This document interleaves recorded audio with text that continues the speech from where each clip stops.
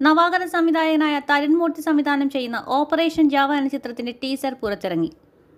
കേരള പോലീസിന്റെ കേസ് അന്വേഷണവുമായി ബന്ധപ്പെട്ട് യഥാർത്ഥ സംഭവങ്ങളെ കോർത്തിണക്കിയാണ് ചിത്രം ഒരുക്കുന്നത് ചിത്രം ഒരു ഇൻവെസ്റ്റിഗേഷൻ ത്രില്ലറാണെന്ന സൂചനയാണ് ടീസർ നൽകുന്നത്.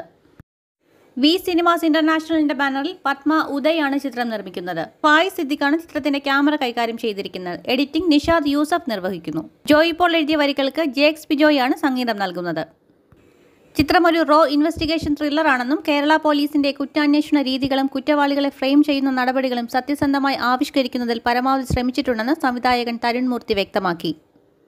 വിനായകൻ ഷൈൻ ടോം ചാക്കോ ബാലു വർഗീസ് ലുക്മാൻ ബിനു പപ്പു ഇർഷാദ് അലി പ്രശാന്ത് അലക്സാണ്ടർ ദീപക് വിജയൻ പി ബാലചന്ദ്രൻ ബൈജു മാത്യൂസ് തോമസ് എന്നിവർ പ്രധാന കഥാപാത്രങ്ങളെ അവതരിപ്പിക്കുന്നു.